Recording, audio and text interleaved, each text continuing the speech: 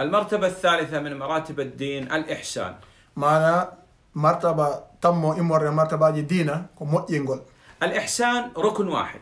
معنى أنه مؤينغول نكانيون كتوغالا غوتال تنجوغي. لكن تحت هذا الركن إما عبادة مشاهدة، عبادة رغبة، عبادة حب، شوق فيما عند الله. أقوى دافع يدفع المرء لهذه العبادة الرغبة والحب والشوق فيما عند الله. هذه عبادة الأنبياء والرسل عليهم الصلاة والسلام. كما كان النبي صلى الله عليه وسلم يصلي حتى تتفطر قدمه ويقول أفلا أكون عبدا شكورا. أقوى دافع يدفع العبد هو الرغبة والحب والشوق فيما عند الله.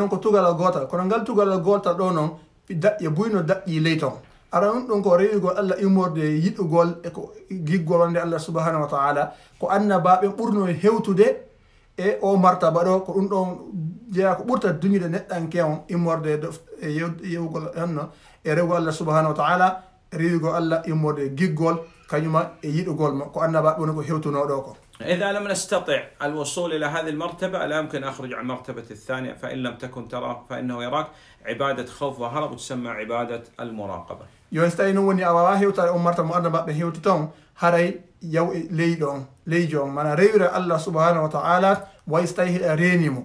أرانو أنتوك ويريور الله واستيه جوني أرينا بقونا الله سبحانه وتعالى إمورد. كون استيوني أهيوتال دون هري cippo martaba e ɗimmo ɗon mana ɗimmo on renagol anda wallama allah subahana taala no renuma والله أعلم